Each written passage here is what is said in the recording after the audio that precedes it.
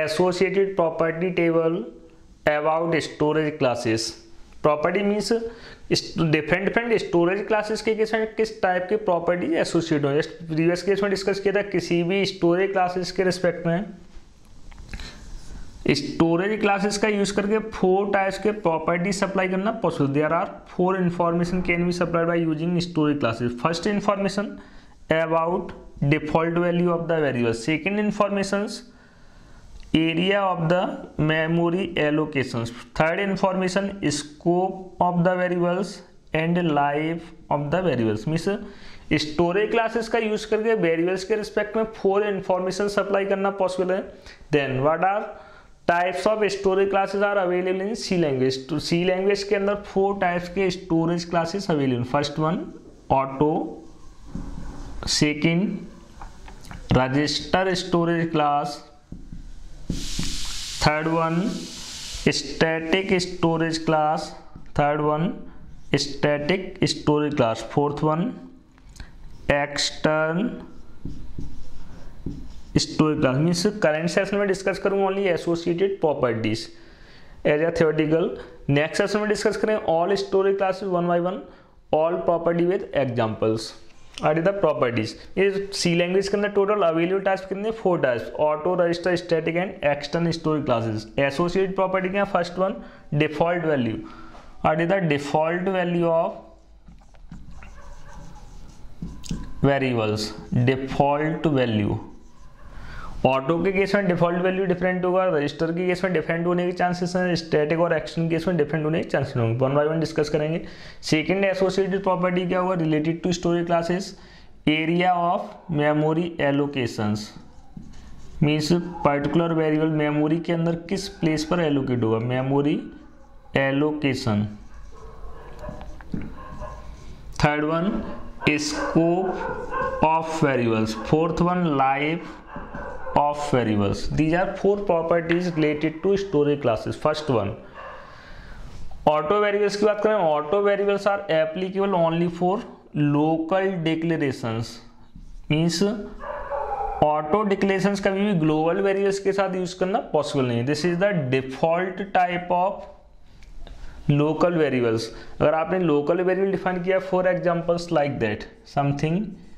integer X अगर आपने इस केस में अगर इस वेरिएबल का टाइप लोकल है local means within the blocks अगर कोई भी स्टोरेज क्लास अप्लाई नहीं किया then by default storage class कौन सा अप्लाई हुआ इस केस में? Auto then default value auto variables by default initialized by garbage value default value is always garbage garbage means unknown or unpredictable memory allocation local variables are created or, sorry, auto variables are created inside stack area stack area means as we are discussing in previous sessions जब भी किसी program को execute करने before execution instructions are available inside hard disk during execution instructions are loaded from hard disk to RAM memory and instructions are executed by by CPU और processor like that. This is the diagram of any program mean जब किसी program को execute करते हैं, सबसे पहले instruction load करूँ from hard disk to RAM next में रैम के अंदर कई सारे लॉजिकल पार्टीशन पॉसिबल हैं as we are discussing previous sessions like stack area data area heap area again, we are discussing that session in details during pointers and so on. Stack, data, heap like that these are places are available inside RAM memory same as CPU CPU के case में बात करें CPU memory possible है called as CPU registers like uh, accumulate or some other registers are available these locations are considered as register memory garbage value auto variables are created inside stack scope की बात करें auto variables only उसी only current block और inner block के अंदर access करना possible है। But I mean by current block और इनर ब्लॉक सपोज़ दैट अगर इस ब्लॉक के अंदर कोई वेरिएबल डिफाइन किया है देन इस वेरिएबल को कभी भी आउटसाइड ब्लॉक एक्सेस करना पॉसिबल नहीं है। Like that outside print tab x it is invalid statement because x का स्कोप क्या with in a current block और इनसाइड इनर ब्लॉक अगर इनर ब्लॉक के अंदर एक्स को एक्सेस करें then it is valid case this is scope properties next one life life means memory allocations auto variables are created whenever execution control comes in side block same as auto variables are deallocate whenever execution control goes outside block allocation का हुआ, जैसे ही execution control block में intros है, मैं deallocation कब perform कर local variables के लिए ऑटो वेरियल्स के लिए जब कंट्रोल ब्लॉक से बाहर सेंड हो मीन्स लोकल वेरियल्स और ऑटो वेरियल्स का स्कोप और लाइफ कैसा है? Within a block only that things next one register register storage classes की प्रॉपर्टीज़ कहते हैं it is almost similar to auto storage class means it is also applicable only for local variables means auto और register storage classes कभी भी global variables के साथ use करना possible नहीं next things default value also garbage means auto और registers के case में डिफ़ॉल्ट वैल्यू क्या हुआ? Always garbage then area of the allocations as we are discussing auto variables are created inside stack area similarly register variables are created inside cpu memory. Cpu memory called as registers. It is created inside cpu registers. Registers की अगर general properties की बात करें, किसी भी variables के case में previous case में एक्सेस किया था वेरिएबल्स की जनरल थ्री प्रॉपर्टीज़ थे variable name variable value variable address but register memory doesn't have any memory address means register variables की केस में बात करें रजिस्टर मेमोरी का कभी भी मेमोरी एड्रेस एलोकेट नहीं होता रजिस्टर वेरिएबल्स के लिए। Therefore we can not access address of register variables means register variables का कभी भी मेमोरी एड्रेस एक्सेस करना possible by using ampersand अगर किसी वेरिएबल का स्टोरेज क्लास रजिस्टर है देन इस वेरिएबल्स के लिए एम परसेंट साइन अप्लाई करना पॉसिबल नहीं। Next one remaining property are same as auto within a block within a block next one static storage class one more things regarding register variables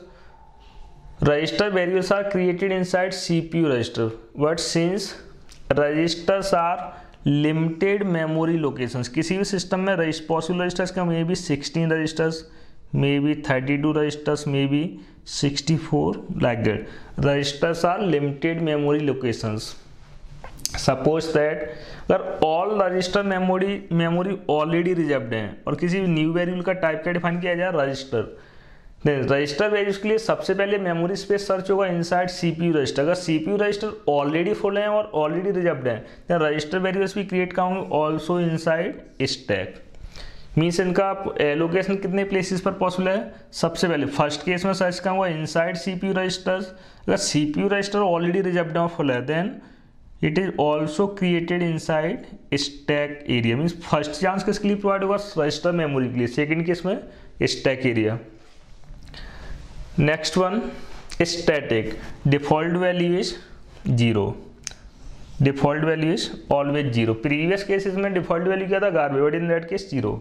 next one memory allocations static variables are created inside data area it is created inside data area. Sometimes called as data segment. Data segment.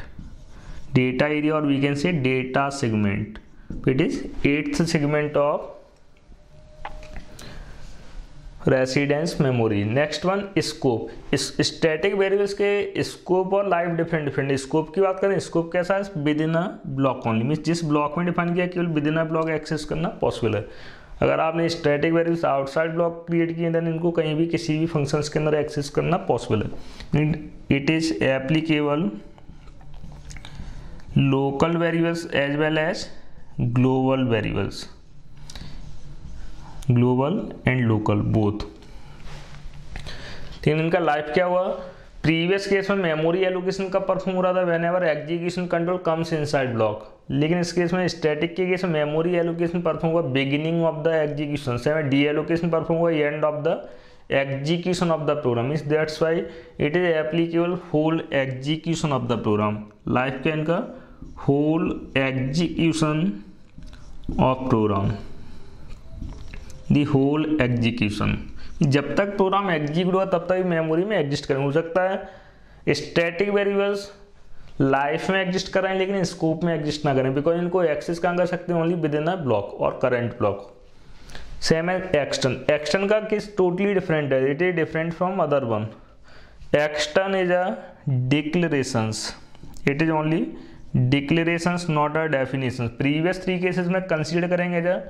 declarations as well as definitions first difference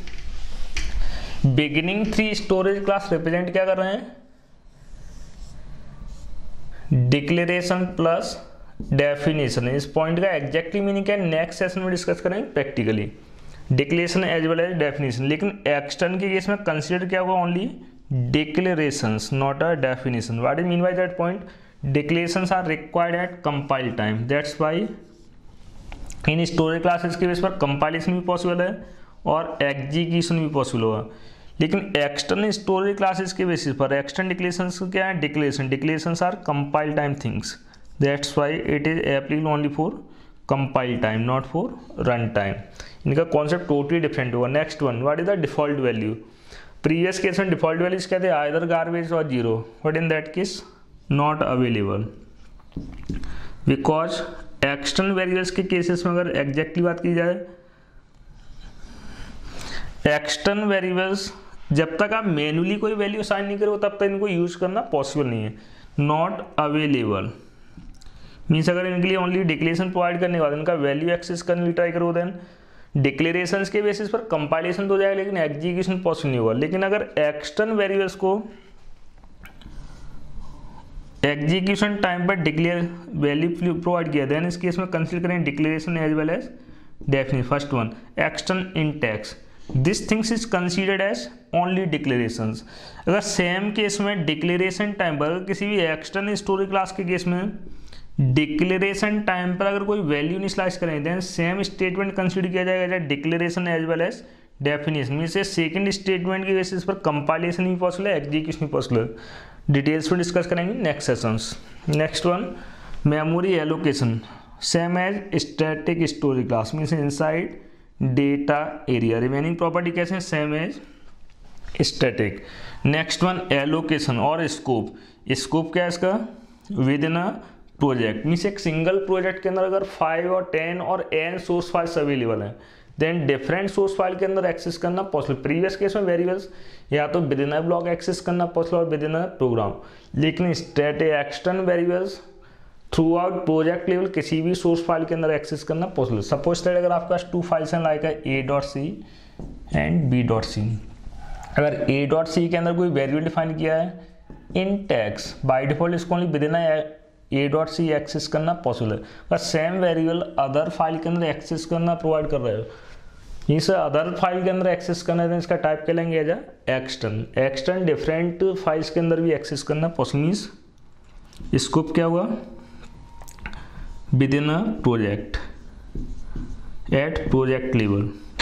next one life life means memory existence again full execution of the program जब तक program का execution चल रहा और project का execution चल रहा तब तक मेमोरी में एग्जिस्ट करेंगे this is the property related to different different storage class next session में डिस्कस करेंगे one by one first one auto then whole property about register static and action practically